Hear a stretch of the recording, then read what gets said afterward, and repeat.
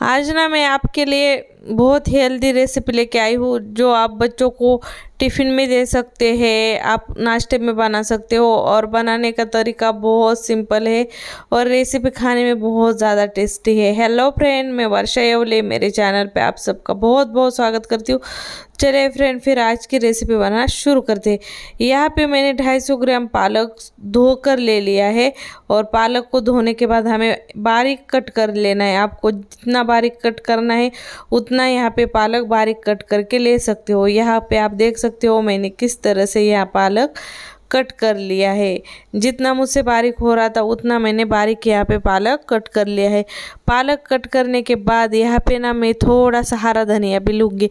हरा धनिया यहाँ पे ऑप्शनल है। आप डालना चाहो तो डाल सकते हो, नहीं डालना चाहो तो नहीं डालेंगे तो भी चलेगा। यहाँ पे धनिया पहले से मैंने धोकर रख दिया था तो यहाँ पे मैंने पालक भी और धनिया भी फ्रेश फ्रेश लिया है, क्योंकि हम जहाँ पे रहते हैं, वहाँ पे बहुत सारे खेत है खेती बाड़ी करते हैं लोग तो वहाँ पे सब्ज़ियाँ आजकल बहुत फ्रेश आ रही है, पालक, धनिया पत्ती तो हम वही खेती से ही मतलब किसान से ही सीधा खेत से ये पालक, धनिया वगैरह ले लेते हैं।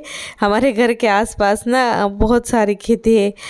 तो आते ही मैंने धोकर रख दिया था धनिया। तो अब यहाँ पे मैंने एक मीडियम साइज़ की कटोरी बेसन लिया है, उसी कटोरे से एक कटोरी गेहूँ का आटा लिया है। साथ में पाँच छः लहसुन की कलियाँ उखली में उखली में कूट कर ली है। साथ में आधा चम्मच जीरा डाला आधा चम्मच लाल मिर्च पाउडर डाला है, चुटकी भर हल्दी पाउडर डाली, साथ में हमने डाला स्वाद के अनुसार नमक। अब इसमें मसाले आप आपके टेस्ट के अनुसार डाल सकते हो, जैसे हरी मिर्च की पेस्ट, चाट मसाला। अगर आपको और कुछ मसाले पसंद है, वो भी इसमें ऐड कर सकते हो। और इसमें मैंने थोड़ा सा अजवाइन डाला है। तो अब जो हमने धनिया पत्ती और पालक कट करके रखा था, वही धनिया पत्ती और पालक इसमें ऐड कर लेंगे। तो नॉर्मली पालक की सब्ज़ी बच्चे खाते हैं नहीं। इस तरह से अगर आप उनको पालक खिलाओगे ना तो वो पसंद करके खाएँगे और कभी भी पालक ना खाने का बहाना नहीं बनाएँगे, क्योंकि उनको पता ही नहीं चलता इसमें पालक डाला हुआ है। तो अभी यहाँ पे मैंने धनिया पत्ती और पालक डाल दिया। उसी के बाद मैंने यहाँ पे दो मीडियम साइज़ के गिलास पानी डाला था और पानी डालकर हमें इसका एकदम बैट एकदम मस्त वाला बैटर तैयार करना है। मस्त वाला मतलब जैसे हम ये डोसा बनाने के लिए या चिल्ला बनाने के लिए बैटर बनाते हैं, बिल्कुल उसी टाइप का यहाँ पे बैटर बनाना है। पानी आपको जैसे लगेगा वैसे वैसे ऐड करते जाना है और अच्छे से स्मूथ वाला आपको मिक्स कर कर यहाँ पे एक बैटर तैयार कर लेना है। तो देखिए किस तरह से यहाँ पे मैंने ये बैटर तैयार कर लिया है। नॉर्मली जैसे चिल्ला या डोसे के लिए होता है, बिल्कुल उसी तरह से यहाँ पे ये बैटर तैयार कर लिया है। अब इस बैटर को कोई आपको रेस्ट वेस्ट लगाने की ज़रूरत नहीं है या रखने की ज़रूरत नहीं है तुरंत ही हम इसको ना नाश्ता बनाने के लिए ले लेंगे। तो नमक थोड़ा कम लग रहा था तो ऊपर से फिर से मैंने नमक डाला और मिक्स किया। आप भी पहले बैटर चेक कर लीजिए, फिर नमक का एडजस्टमेंट कर लीजिए। तो यहाँ बैटर तैयार हो चुका है तो आप चलते हैं रेसिपी बनाने के प्रोसेस में। तो यहाँ पे मैंने गैस के ऊपर तवा गरम करने के लिए रख दिया था और मैंने लोहे के तवे का इस्तेमाल किया है। आप चाहो तो आपके हिसाब से जो आपके घर में तवा है वो रख सकते हो।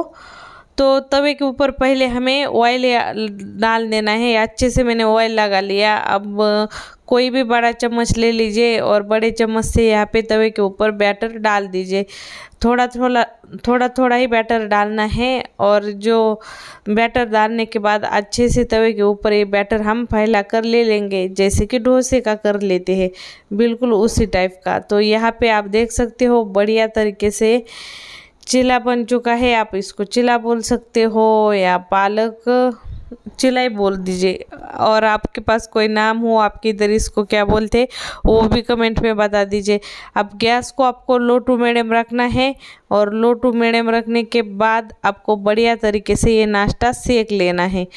तो बहुत ही मस्त तरीके से बनकर तैयार हो जाता है और ये गर्मा गर्म नाश्ता खाने में बहुत ज़्यादा टेस्टी लगता है। और आपने देखा हेल्दी तो कितना है? हेल्दी मतलब हमने इसमें जावर का आटा डाला है, गेहूँ का आटा डाला है, पालक डाला है।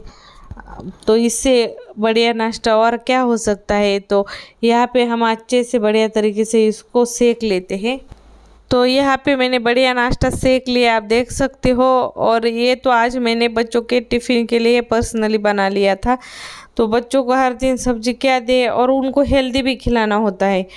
तो तो उसी चक्कर में आज मैंने ये पालक लाई थी मैं रात में तो उनका बहुत फ्रेश पालक था, खेत से लेके आए थे वो। तो मैंने सोचा चलो पालक से कुछ बना लेते और रेसिपी भी हो जाएगी, बच्चों का टिफ़िन भी हो जाएगा।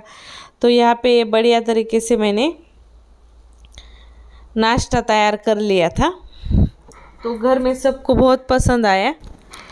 सबने नाश्ता भी किया और हस्बैंड में और बच्चों ने टिफ़िन में भी ले के ले, टिफ़िन के लिए भी ले गए। तो बहुत अच्छा बना था।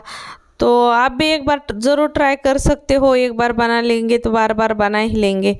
तो आपको कैसी लगी रेसिपी कमेंट में बताना बिल्कुल ना भूले। ये नाश्ता आप सॉस के साथ और दही के साथ इंजॉय करें या सीधा ऐसे ही खाओ तो भी अच्छा लगता है। फिर मिलेंगे ऐसे न्यू रेसिपी के साथ। तब तक के लिए बाय बाय